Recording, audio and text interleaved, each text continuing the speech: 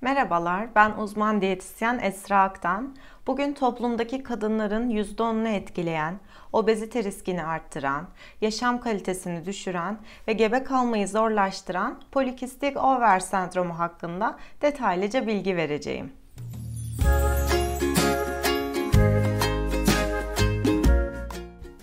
Polikistik over hastalığı nedir? Öncelikle bundan bahsedelim. Bu aslında bir kadın doğum rahatsızlığı değildir. Endokrin bir bozukluktur. Yani hormonal bir dengesizlik söz konusudur. E, her 10 kadından birinde görülebilmektedir. Birçok semptom ve belirtiler eşlik eder. Polikistik over yani PCOS'un belirtilerine gelecek olursak obezite, insülin direnci, erkek tipi kellik, e, sivilce, tüylenme, mens düzeninde bozukluklar, kronik yorgunluk hatta depresyon PCOS'un belirtilerindendir. PCOS tanısı nasıl konulur? Bu kısım bizim için çok önemli. Çünkü toplumda PCOS'lu kadınların %70'i tanı almamıştır. Sadece yumurtalıkta kis var mı yok mu diye bakılan tanı yöntemleri aslında doğru sonuç vermiyor. Çünkü e, burada endokrin uzmanları özellikle eğer hiperandrojenizm özellikleri varsa yani erkek tipi özellikler, kellik, sivilcelenme, tüylenme gibi veya mens düzeni bozuklukları varsa ve ek olarak yumurtalıkta kis varsa bu üç kriterden ikisi varsa PCOS tanısı konulacağını bize belirtmektedir. Peki bu rahatsızlığın tedavisi nasıl olur? Bazı cerrahi yöntemler uygulanabilmekte veya hormonal medikal tedavi uygulanabilmekte. Son olarak da yaşam tarzı değişiklikleri çok önemli bir yer almakta tedavide.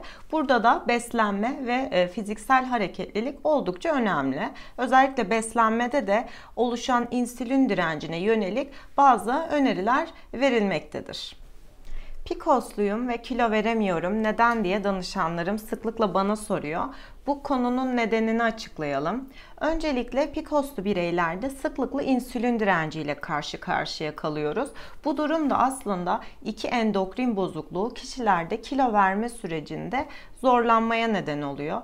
Özellikle karbonhidrat içeriği yüksek besinler insülin miktarını artırıyor. Yüksek insülin de insülin direncini tetikliyor. Bu noktada kişilere zengin besin içeriği ve düşük karbonhidratla beslenmeyi öneriyoruz ve özellikle burada kişiye özgü bir beslenme seçimi yapmak önemli. Bu doğrultuda ilerlemek önemli ve uzun vadede mutlaka kilo verme konusunda da hedefe ulaşabiliyoruz. PCOS diyeti nedir? Öncelikle e, beslenme PCOS'la oldukça alakalı bir durum. Çünkü kişi ideal ağırlığa geldiğinde PCOS semptomları hafifleyebiliyor.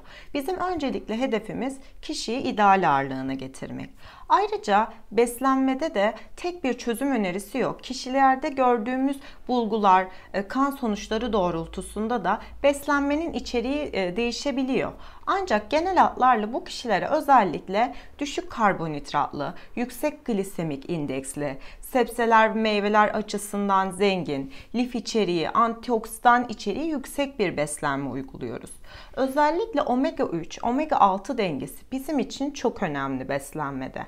Bu yüzden omega 3 kaynaklarını sıklıkla eklemekteyiz. Özellikle yağlı balıklar, bitkisel omega 3 kaynaklarından ceviz, keten tohumu, semizotu gibi besinler bu diyette e, sıklıkla tükettiğimiz e, besinler.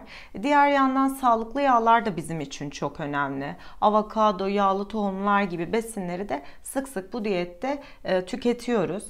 Bu diyette özellikle tarçın, melisa çayı, papatya çayı gibi fitoöstrojen özellikte ve antioksidan özellikteki çaylarda e, fayda sağlayacaktır.